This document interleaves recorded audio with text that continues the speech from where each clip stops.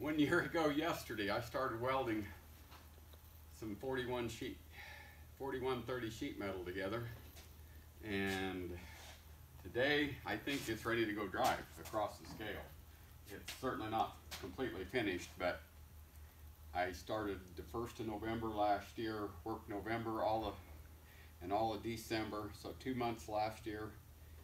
This spring when I got home, three weeks, I worked on it solid, and then four days over Labor Day, and the last week or ten days I've worked on it pretty steady. The last week, pretty well full time.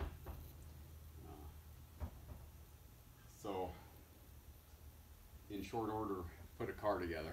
so we'll see how this thing, if it works out. Uh, I probably have another two weeks worth of work. I've got the front transmission built.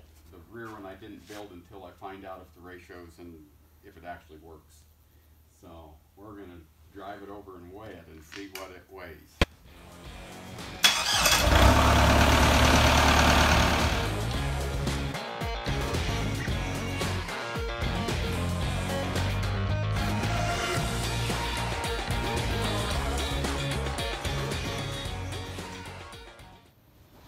Okay, we are setting on the scale at, both of us on the scale with the car at 49.20. The car is going to gain at least 100 pounds and more than likely, time we get tools in it and everything, uh, 200 pounds. So we're going to be looking at uh, 5,000 pounds. So will the car work? Who knows? That's really heavy. I don't know how to build a car that'll do all this this will do for for less weight. I don't know what I could do to, to lighten it up and still keep some kind of resemblance of strength in it. Uh, but uh, anyway, that's where it at. I will work on it another couple weeks and uh, and head south with it. I think it's gonna. I'll have a lot of testing to do on the transmission to see if that works, but we'll see. Hopefully, it'll do what it's supposed to do.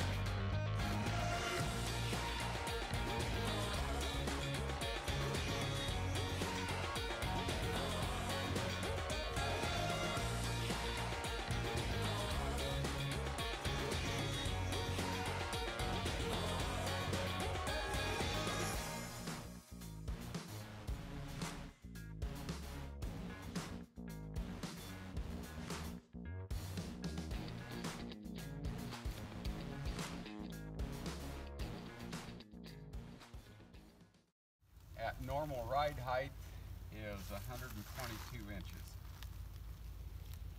So a little longer than I wanted it to be. Uh, but uh, that's what it is.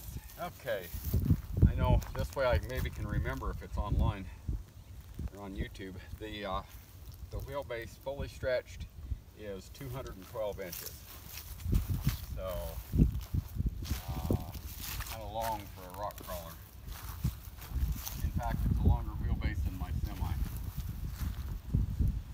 But still kind of cool. Okay, we got it all the way up, squeezed all the way in, and we have a wheelbase of 71 inches. So somewhere between 70 and 212 inches. So if that don't fit a waterfall, nothing will. Have a 69 69 inches of clearance when we're fully stretched. So that should be kind of the, the specs on the car, or the dimensions anyway. A lot more testing to find out whether it's going to be functional or usable, usable but uh, I'm kind of excited about it. Simply for the fact that it's a new toy and it appears like it might kind of work.